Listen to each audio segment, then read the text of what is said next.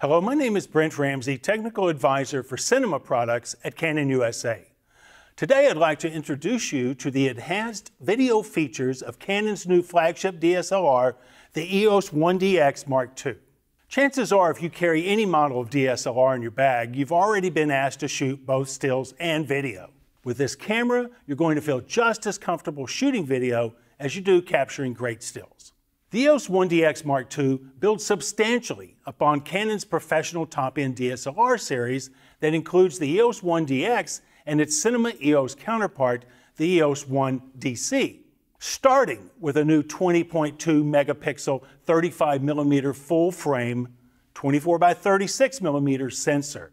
Inside, there are two new Digic 6 Plus imaging processors, so you can expect some serious imaging enhancements. But here's what I want to concentrate on. The EOS 1DX Mark II shoots DCI 4K high resolution video, which is 4096 by 2160 or 17 by 9 at 2398p, 24p, 30p, and 60p. DCI resolution is formatted for cinema delivery, which is slightly wider than UHD 4K video. And get this, when you shoot 4K, you can save 4K frame grabs directly from the video in camera. But more on that later. The EOS 1DX Mark II also shoots 1920 by 1080 full HD video at 2398, 24, 30, and 60p in either MP4 or .mov format. And it adds a full HD high frame rate movie shooting mode of 120 frames per second. So you've got a great slow motion speed to work with. And being a true global camera, the equivalent PAL frame rates are available as well. If you've shot video with one of Canon's full frame DSLRs before, you may be thinking, yeah, who doesn't love the look, but holding focus is super hard and so much of my footage ends up soft. Yeah, that may have been the case, but not so fast, because now for the first time in the EOS 1D series, and for the first time on one of our 35 millimeter equivalent full frame sensors, the EOS 1DX Mark II is equipped with dual pixel CMOS autofocus.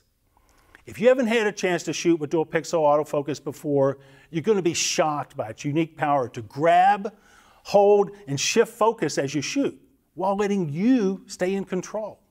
Now, this system has moved way past the contrast based AF that you may be used to, and it's into sensor technology that employs split photodiodes to accomplish phase difference detection AF. And this surveys the scene and it drives the lens in the proper direction to acquire focus. This excludes unwanted searching and accomplishes precise natural focus acquisition with speed and reliability. And perhaps more importantly, with control and adjustability. And dual pixel autofocus works for either 4K or Full HD. So now you can expect reliable focus control in any video mode using any autofocus capable EF lens. Dual pixel autofocus achieved tremendous success in the Cinema EOS line of pro cinema cameras like the C300 Mark II.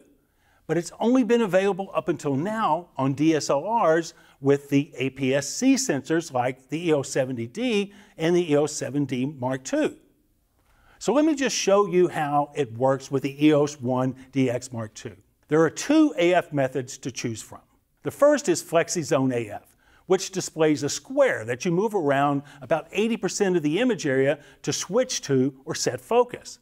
And in FlexiZone AF, you can also adjust the AF sensitivity. Do you want the focus shift to be super quick or roll in softly?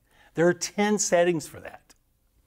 And there's Movie Servo AF tracking sensitivity response settings. Now, this will aid in determining the speed the camera acquires a new subject or ignores subjects crossing through the frame. There are six settings for that. The second method is face detect and tracking AF. Now, this helps you acquire, shift, and hold focus on faces as they move through the frame. And get this there's an improved algorithm that will recognize a human body well enough so that it can track focus on a face even when the face is not recognized. Now, you can see that working in sports, right? And there's another improvement to the algorithm of color detection that enhances the tracking capability of moving subjects. And this enables more stable tracking. But how about this? Just select an object, stay with it. There's also one shot AF, and this works with face recognition or flexi zone tracking. You can set this up as an assigned custom control button, configure it to work at a half to press of the shutter button, or simply use the AF on button. One-shot autofocus is great for a quick focus confirmation before or during shooting, and great for situations where you don't want or need continuous autofocus. And this is really cool. There's a new high-resolution touch panel monitor display, which allows you to touch the screen to acquire focus on an area of the image or a subject's face. So how's that for simple, huh? You can also select the sensitivity of the touch, standard, sensitive, or turn it off altogether and prevent an unwanted change by accidentally touching it. In that case, if you turn the touch panel sensitivity off, you could still get a solid focus control with the multi-controller button. So serious control of focus and depth of field is firmly or lightly in your hands at all times. Now here's an option in camera that will aid you tremendously especially in handheld or uncontrollable situations. And that's assigning a camera button to temporarily disable or enable Movie Servo AF. What this does is act like AF lock on a Cinema EOS product. It's an easy way to temporarily turn off continuous dual pixel autofocus, hold the focus mark you just had, and then press to activate continuous dual pixel autofocus again. I've used the set button for AF lock. I like it because it's easy to reach with my thumb and it's not used for anything except menu selection. AF lock can be configured with the shutter button and customized four different ways. Now this could offer you a way to remotely control those combinations of functions with a wired remote extension cable from up to 33 feet away. And it's great for when the camera is, say, mounted in a tree or behind a backboard. And let's say I'm setting up for a rack focus between subjects, or I just want to stay really fluid. I could enable disable dual pixel autofocus by using the depth of field preview button on the front of the body. In this case, it doesn't lock when depressed, only as long as I'm applying pressure. It's very convenient and especially good when handheld. I suppose if you want to stay old school, well, you can always just use the magnification, and that's adjustable in increments up to 10 times.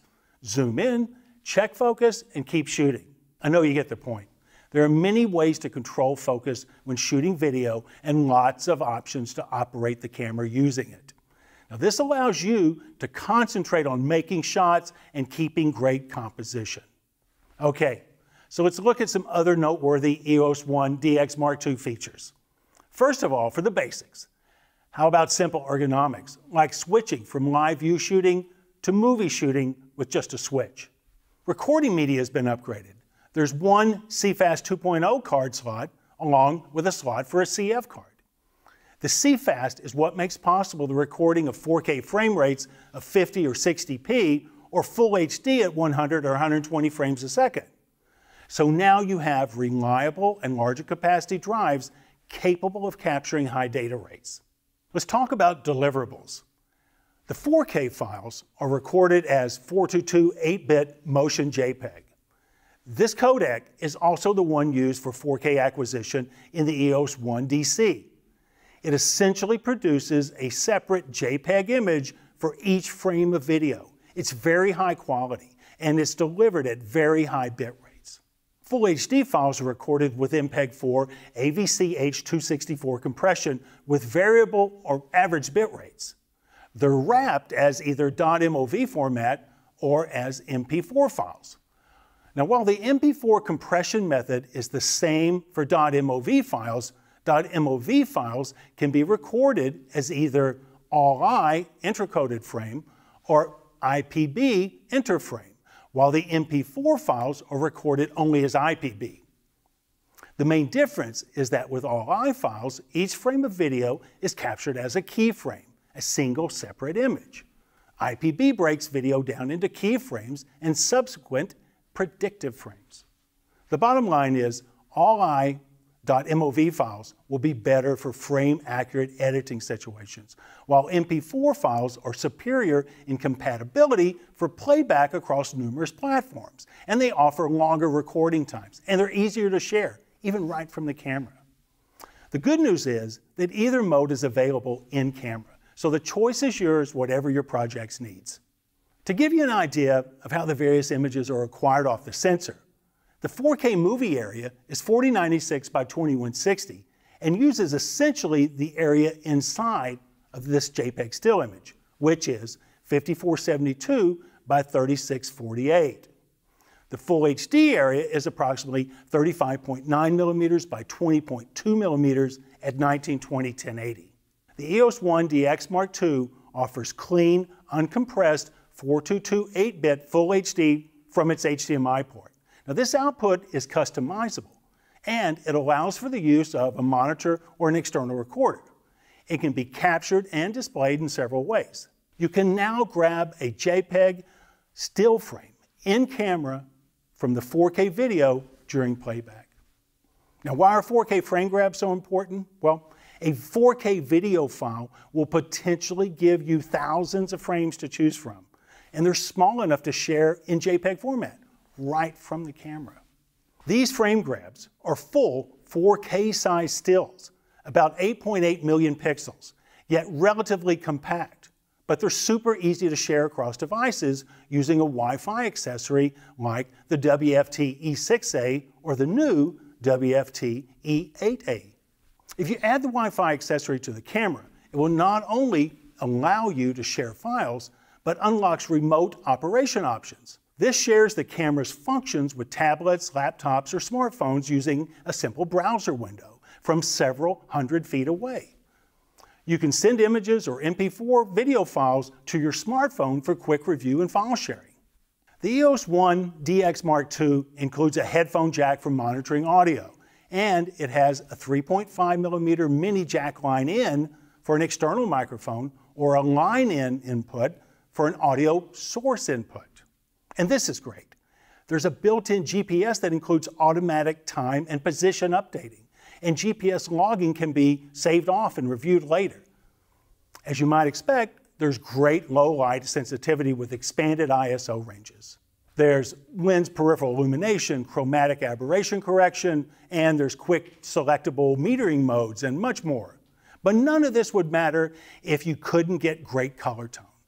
So all the customary Canon picture styles that you're used to are included in the EOS 1 DX Mark II with a new addition that we first saw in the 5DS and 5DSR, and that's called Fine Detail, where contrast is set lower than standard so that detailed textures and gradations come out better.